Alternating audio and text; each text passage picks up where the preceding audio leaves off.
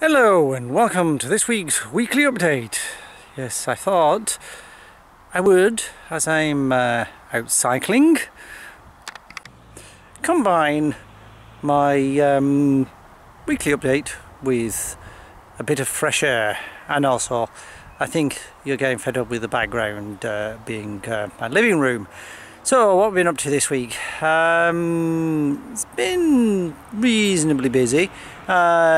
Mainly busy on the cycling front. I'm uh, doing my best to make the 600 kilometers challenge. Um, this cycle is going to push me over 300 kilometers, but I'm not quite sure whether I will be getting to the 600. As tomorrow I might not be heading out because uh, the fridge freezer arrives tomorrow. Yes, uh, that's going to be interesting. Uh, I have to be up really, really, really early to wait for a text to, to tell them whether they're going, what time between 7am and 7pm they will be delivering it. What's the betting? It's going to be closer to 7pm than 7am. Um, and then I will have a nice new fridge freezer with more storage space and also one that's not liable to conk out any minute like the current one.